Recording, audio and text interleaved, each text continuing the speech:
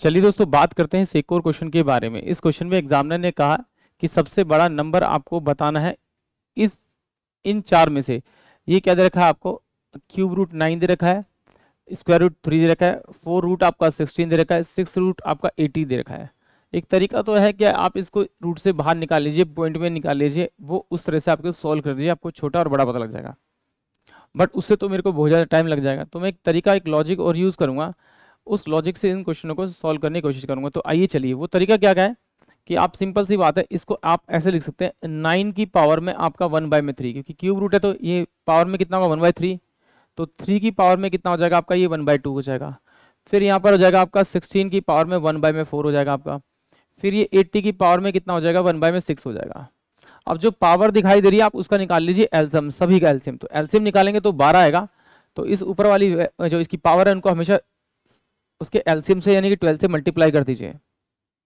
जो उसका एल्सियम है, उस एल्सियम से आप मल्टीप्लाई कर दीजिए और मल्टीप्लाई करने के बाद इसको काट दीजिए। तो कितना आएगा आपके पास में? नाइन की पावर में कितना हो जाएगा आपका चार? कल टू में। ये कितना हो जाएगा? थ्री की पावर में सिक्स ये काटेंगे तो कितना हो जाएगा? सिक्सटीन की पावर में आपका कितना हो जाएगा? आपका थ्री इसे काटेंगे तो ये क्या हो जाएगा? एट्टी की पावर में आपका टू हो जाएगा। अब इसको सिंप्लीफाई करेंगे। तो नाइन की पावर में फोर यानी कि कितना हो जाएगा? एट्टी वन और एट्टी वन तो सॉल्व करेंगे। इन दोनों को मल्टीप्लाई कर दीजिए। डबल यूनिट लिखे हैं ज़ीरो वन अट्ठू अट्ठे चौंसठ, आठ कम आठ आठ दूनी सोलह। इन दोनों को प्लस कर दीजिए फिर। ये वन सिक्स फाइव और सिक्स यानी कि इसकी जो वैल्यू आएगी वो सिक्स फाइव और सिक्स वन ये इसकी वैल्यू आएगी। अब यहाँ देखिए थ्री की पावर कितना सिक्स है? तो थ्री की पावर सिक्स है तो मैं इसको ऐसे लिखता हूँ थ्री इंटू में थ्री इंटू में थ्री इंटू में थ्री इंटू में आपका थ्री इंटू में आपका थ्री तो ये कितना हो तीन और तीन छः तो सिंपल सी बात है, ये देखिए नाइन बन रहा है ना आपको, इस नाइन को तीन बार मल्टीप्लाई कर दीजिए आप. तो ये नाइन से तीन बार मल्टीप्लाई करने पर सेवन टू नाइन इसकी वैल्यू आ जाएगी आपकी. अब सिक्सटीन का थ्री है. सिक्सटीन का जो सिक्सटीन का थ्री है तो यानी कि इसका क्यूब निकालना है. तो या तो आप डायरेक्ट इसका क्यूब रूट याद रखिए, नहीं तो आप एक तरीका यूज़ कर सकते हैं इसका क्यूब रूट निकालने के लिए। ये 16 का क्यूब निकालना है आपको। उसका तरीका क्या है? इसको ए बोलते हैं, इसको बी तो ए की जो वैल्यू है, उसको एज इट इज़ रख दीजिए। और उसमें आप बी वाली वैल्यू को मल्टीप्लाई करें। सिक्स मल्टीप्लाई करें सिक्स आएगा। फिर एक बार और मल्टीप्लाई कर दिए सिक्स तो आपका थर्टी सिक्स आएगा। फिर एक बार और मल्टीप्लाई कर दिए उसमें क्या आएगा? टू वन सिक्स आएगा।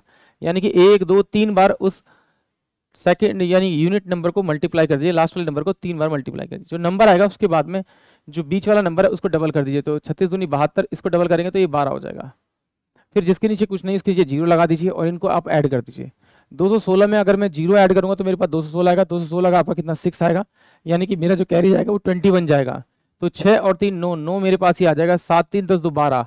बारह दूनी चौबीस और छः तीस।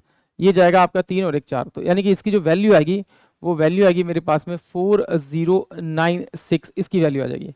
अब एट का स्क्वायर तो सबको पता है सिक्सटी फोर होता है हंड्रेड सिक्सटी फोर हंड्रेड इसकी वैल्यू हो जाएगी। अब देखिए इसमें से सबसे बड़ा नंबर कौन सा दिखाई दे रहा है?